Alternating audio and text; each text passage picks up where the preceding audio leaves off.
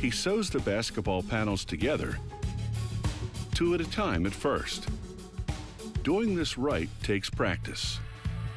The craftsperson then trims the polyester thread and then pounds the thick seam flat with a hammer. He sews vinyl reinforcements to the two panels that have lace holes. This will give the laced area of the basketball more structure. The stitching will also frame the lace holes from the leather side to define and accentuate the lacing. He adds another strip of vinyl. This one will protect the inflated bladder inside the basketball. He assembles the panels four at a time. He leaves the section around the lace holes open to provide an entry point for the inflatable bladder.